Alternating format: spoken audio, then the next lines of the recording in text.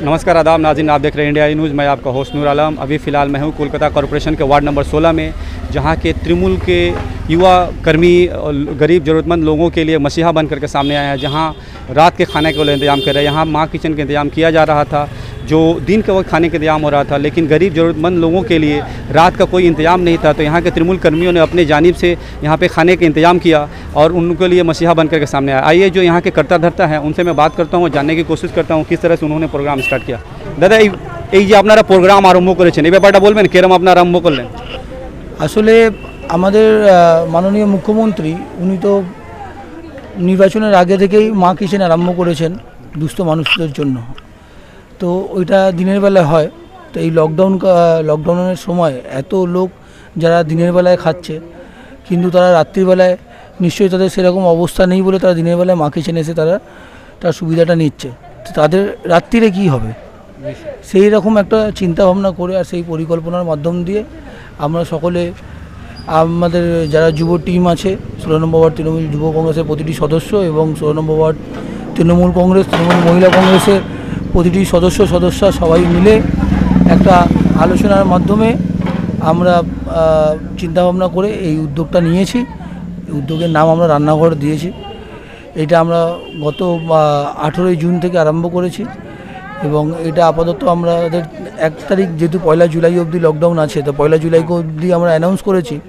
আর যদি লকডাউনে তারপরেও বাড়ে, তাহলে আমরা চিন্তা ভাবনা করছি যদি তার বড়ও বাড়ে যেন এটা আমরাকে আমরা এটা কন্টিনিউ করতে পারি সেটাই আমাদের আপাতত লক্ষ্য আছে। কতজনের খাওয়ার অ্যারেঞ্জমেন্ট করা হচ্ছে এইখানে মোটামুটি দেড় দেড়শো জন মোটামুটি তো হচ্ছেই তার কোনো কোনো তার বেশি হচ্ছে। আর এই পুরো যে খরচাগুলো যে কে বিয়ার করছে আপনারা? এর খরচাগুলো বেয়ার বলতে এখানে আমাদের যতগুলো আমাদের ওয়ার্কার আছে তৃণমূল কংগ্রেসের প্রতিটি সদস্য যারা আছে তারা অনেকে ওয়েল স্ট্যাবলিশড আছে অনেকে স্ট্যাবলিশড নয়। তা যারা যেরকম সামর্থ্য সে সেরকম অনুযায়ী সহযোগিতা করে এই খরচা বেয়ার হচ্ছে। এখানে এই খরচার জন্য আমরা কাউকে কিছু বলিনি। আমাদের প্রতিটা কিলো তৃণমূল কংগ্রেসের প্রতিটি সদস্যরা মিলেই এই খরচাটা বেয়ার করছে। আমাদের চ্যানেলের মাধ্যমে আপনি আপনার ওয়ার্ডের লোকে কি বার্তা দিতে চান? আমাদের ওয়ার্ডের লোকদেরকে বার্তা দেওয়ার জন্য এখন একটাই বার্তা এখন এরকম সিচুয়েশানে কি আমাদের যেরকম এই কোভিড পরিস্থিতিতে সবাই সুস্থ থাকুন এবং যতদূর পারবেন আপনারা সরকারি যেসব নিয়ম আছে, যেগুলো নিয়মাবলী আছে, সেগুলো মেনে চলার চেষ্টা করতে বলব সবাইকে।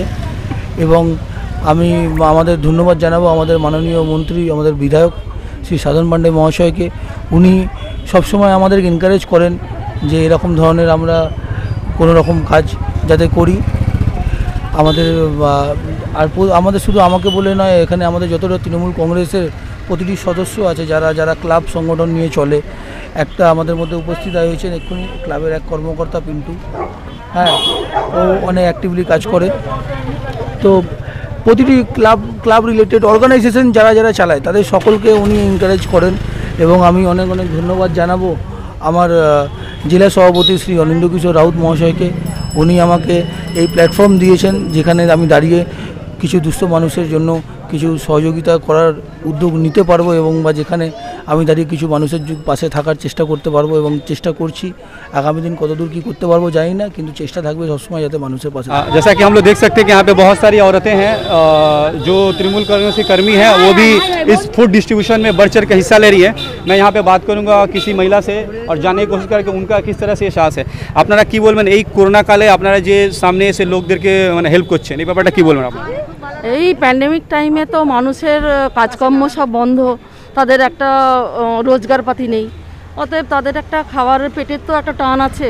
তো দিনের বেলা ওয়ার্ড থেকে যেটা দেওয়া হয় যেটা রান্নাঘর শুধু দিনের বেলা। দিনের বেলা যেটা দেওয়া হয় কিন্তু রাতের খাবারটার খাবারের তো একটা ব্যবস্থা করতে হবে শুধু একবেলা খেলে তো মানুষের অসুবিধা আছে। সেই কারণেই আমরা এটা ভেবেছি। আমাদের মাননীয় এমএলএ দাদা যিনি সাধন পাণ্ডে তার উদ্যোগে এইগুলো আমাদের করা এবং আমাদের পাড়ার যে ভাইরা আছে শুভ্রজিৎ আছে শ্যামলদা আছে খোকনদা আছে এই এই কিছু কিছু দাদাদের সহযোগিতা আমরা এটা সাফল্য আনতে পেরেছি। আমি চাইব যে প্রত্যেকটা মানুষ এখান থেকে খাবার নিয়ে গিয়ে তৃপ্তি ভরে খাক তাদের দিনটা ভালো কাটুক রাত্রিটা ভালো কাটুক। একটা কোশ্চেন পলিটিক্যালি আমি জিজ্ঞেস করি। হ্যাঁ, হ্যাঁ।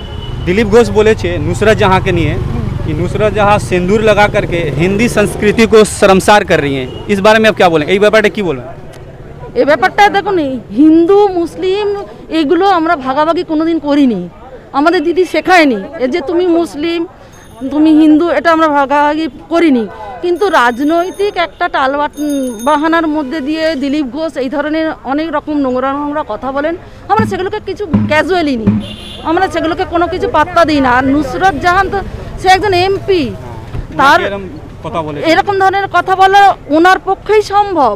দিলীপ ঘোষের পক্ষে সম্ভব। যিনি একটা বাংলার কালচার যিনি একটা বাংলার কালচারকে বলেন যে বিদ্যাসাগরের লেখা সহজ পাঠ তাকে আমি কখনোই একটা রাজনৈতিক নেতৃত্ব বলে তাকে আমি কখনোই মানতে পারি এটা তো তার ব্যক্তিগত ব্যাপার। ধন্যবাদ কথা বলে।